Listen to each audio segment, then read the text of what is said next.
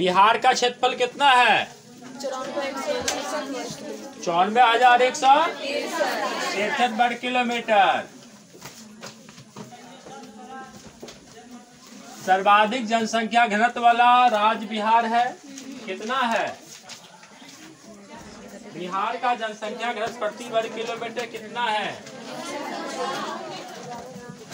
ग्यारह सौ? ठीक है, ग्यारह सौ छह है। आप बताएँगे। दूसरा सर्वाधिक जनसंख्या घनत्व वाला राज्य। वेस्ट बंगाल है।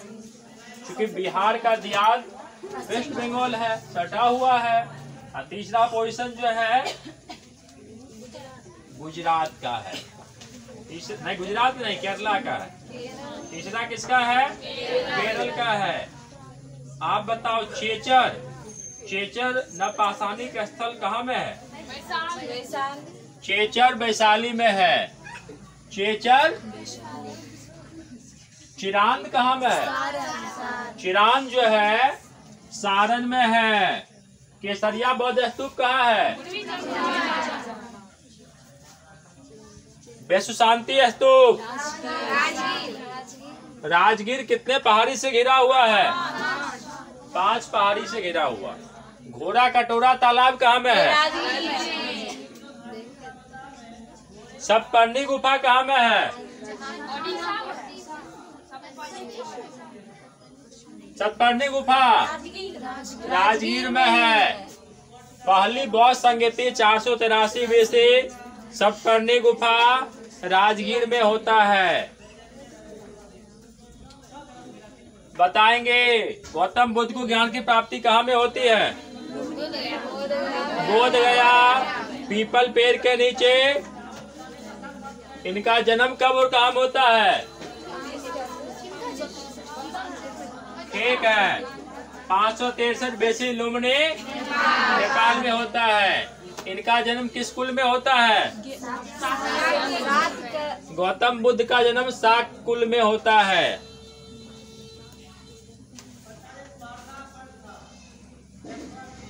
मौर्य वंश का फाउंडर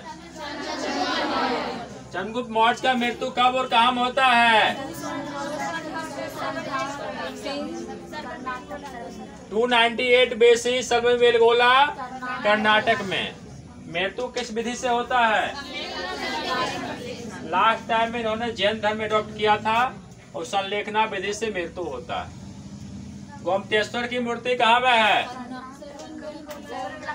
सरवन बेलगोला ज़ोर से बोलो तो लोग। इतना धीरे बोलती है।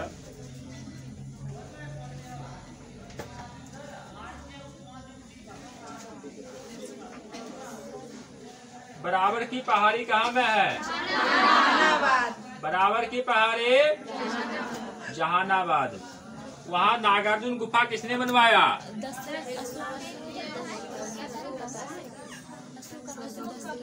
अशोक का पौध दशरथ। वहाँ पर चार गुफा किसने बनवाया? आजीवक को रहने के लिए चार गुफा का निर्माण करवाया। उसका नाम था कर्ण चौमार सुदामा विश्व झोपड़ी। कर्ण चौमार सुदामा बिहार का सबसे ऊँचा पर्वत चोटी। आठ सौ चौहत्तर मीटर ऊँची सोमेश्वर की चोटी शिवालिक हिमालय का भाग है पश्चिमी चंपारण में। सबसे नवीनतम हिमालय। सबसे प्राचीनतम हिमालय। ट्रांस हिमालय। नेपाल हिमालय किन दो नदी के बीच में बहती है। नेपाल हिमालय किन दो नदियों के बीच में कहलाता है। काली और तिस्ता। काली और तिस्ता के बीच में नेपाल हिमालय है। कुमायूं हिमालय बताओगे? सतलज और काली। पंजाब हिमालय बताओ। सिंधु सतलज है। असम हिमालय बताओ। तिस्ता से दिहांग तिस्ता से दिहांग बताओगे? चावल की सर्वाधिक खेती के जिला में होता बिहार के। रोहतास में चावल की सर्वाधिक खेती होती है। गेहूँ सर्वाधिक खेती के जिला में। बिहार में सबसे अधिक कौन सा फ़सल होता है? चावल होता है। बिहार सर्वाधिक वर्षा वाला स्थान? चाय पहली बार खेती के जिला में हुआ था। किशनगंज किस स्थान पर? ठाकुरगंज। बिहार का सबसे गर्म जिला? और ठंडा जिला? बरहम यूनिक पहाड़ी कहाँ में है? देश का सबसे बड़ा रबर डैम। फल्गु नदी पर गया जी में। फल्गु नदी पर? बिहार में सर्वाधिक वर्षा किस मानसून से होता है? दक्षिण पश्चिम मानसून के बंगाल की खाड़ी शाखा से होती है। दक्षिण पश्चिम मानसून की बंगाल की खाड़ी शाखा से होती है। बताएँगे प्रत्यावर्ती मानसून या लौटती हुई मानसून या उत्तर पूर्वी मानसून सर्वाधिक वर्षा कहाँ होती है? तमिलनाडु के कोरोमंडल तट पे होती है, ठंडा के मौसम में दिसंबर जनवरी में। शीत ऋतु में होती है। आप बताएँगे। उत्तर भारत में ठंडा के मौसम में वर्षा, खास करके पंजाब, हरियाणा, पश्चिमी उत्तर प्रदेश में होती है। किससे होती है? पश्चिमी विक्षोभ से होती है। पश्चिमी विक्षोभ कहाँ से आती है? भूमध्य सागर से आती है। बताओ, बिहार का औसत वर्षा कितना होता है? 112 बिहार में औसत वर्षा 112 होता है। बिहार में सबसे कम वर्षा वाला जिला?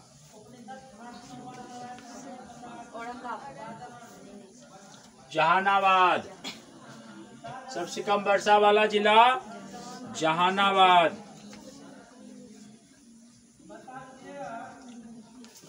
बिहार में गर्म हवा चलती, उसको क्या बोलते हैं? लू बोलते हैं।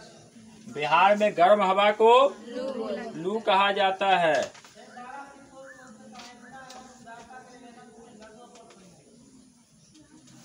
बिहार का शोक बताएँ। कोशी कहाँ से निकलती है? कोसाई थान की चोटी तिब्बत। कोसी बिहार के जिला में प्रवेश करती है। सुपौल में। कोसी बिहार के सुपौल में प्रवेश करती है। कोसी गंगा में कहाँ मिलती है? कुरसैला कटिहार में मिलती है। बिहार का पहला रामसर साइट। कांवर झील बेगूसराय ये एशिया का सबसे बड़ा मीठे पानी की गोखुर झील है। इस गोखुर झील का निर्माण बूढ़ी गंडक नदी से होता है। बिहार का दूसरा रामसर साइट। नागी नकटी जमुई। बिहार का पहला पक्षी महोत्सव कलरव कहाँ होता है? पटनी जिला से कहाँ में है? मंदार पर्वत कहाँ में है? बौसी महोत्सव कहाँ में होता? है बौसी और मंदार महोत्सव? बांका। में बांका में होता। है खड़गपुर झील कहाँ में है? खड़गपुर झील खड़गपुर हवेली खड़गपुर किला मुंगेर में है। भीम बाँध अभ्यारण्य बताओगे? दुनिया का पहला योग विश्वविद्यालय? मीर कासिम का किला? पाल वंश की राजधानी? मुंगेर। पाल वंश की राजधानी? मुंगेर। पाल वंश का फाउंडर पाल वंश का महानतम शासक? धर्मपाल किसका स्थापना किया?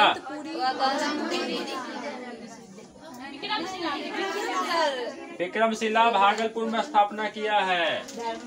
धर्मपाल विक्रमशिला विश्वविद्यालय भागलपुर की स्थापना किया है। और गोपाल किसका स्थापना किया?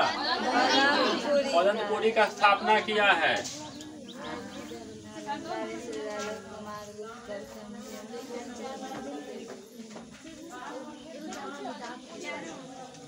नालंदा का स्थापना किसने किया?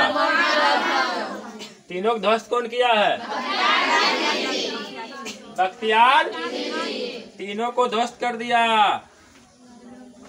गंडक नदी। बिहार उत्तर प्रदेश का सीमा रेखा बनाती है। इसके अलावा अन्य कौन नदी बनाती है सीमा रेखा? कमनासा और घाघरा। घग्गर हरियाणा में घाघरा है। आगे आ जाओ ना आगे जगह है।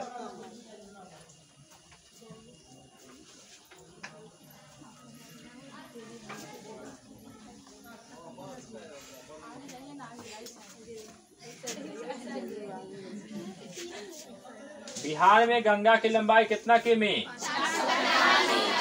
445 किलोमीटर। गंगा कितना जिला से बहती है बिहार के? ये क्वेश्चन बीपीएससी पीटी में पूछा हुआ है। गंगा किस जिला में प्रवेश करती है? बक्सर में प्रवेश करती है। और किस जिला में निकल जाती है? कटिहार में निकल जाती है। बिहार का कितना जिला का सीमा नेपाल के साथ लगती है? सात जिला। और उत्तर प्रदेश के साथ बताओगे? देखो सात आठ आठ तीन। सात आठ आठ तीन। ऊपर सात बाएँ बाएँ सात आठ आठ तीन। नहीं सात आठ आठ तीन। सात नेपाल का सात जिला, उत्तर प्रदेश आठ जिला, झारखंड आठ जिला और पश्चिम बंगाल तीन जिला। नारायणी किस नदी का नाम है? गंडक को नारायणी कहा जाता है। बताओ, गंडक का जो है ना, बिहार के किस जिला में प्रवेश करती है?